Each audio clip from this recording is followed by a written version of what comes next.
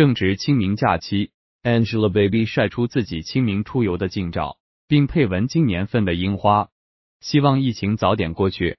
图中，Angelababy 站在街边与樱花合影，照片中还出现了儿子小海绵的身影。当天，Angelababy 一身黑色出街，虽然打扮低调，但是却难掩好身材，一双大长腿又细又直，穿的短款上衣巧妙地露出了一截小蛮腰。这身材怎么看都不像是生过孩子的妈妈，状态非常好。一旁的小海绵则是穿着橙色的羽绒服。妈妈拍照的时候，小朋友并没有很配合，而是转过头去玩自己的，所以照片上小海绵只留下了一个潇洒的背影，可爱十足。另一张照片上，Angelababy 晒出一束樱花，细心的网友们发现，小海绵的小手正勾在樱花树枝上，十分顽皮。前几天，Angelababy 的工作室还晒出了她在樱花下的自拍，妆容精致美艳。看来离婚后的 Angelababy 并没有受到太大的影响，反而是活得越来越潇洒了。闲暇的时候就带着儿子一起出去看看外面的世界。而自从离婚以后，Angelababy 也经常被网友们偶遇。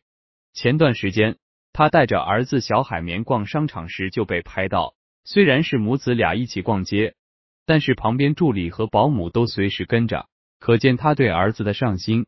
有很多网友们质疑，Angelababy 是故意带着儿子出街炒作，但是他却全然不在意。能在孩子小时候进行陪伴已经是十分难得了。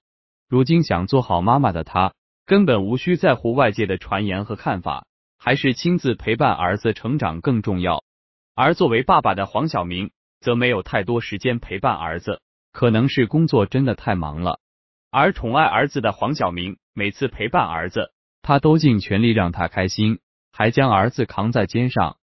配文称不知道爸爸还能扛你多久。虽然不能时时在身边陪伴，但黄晓明这份慈父的心还是很让人感动的。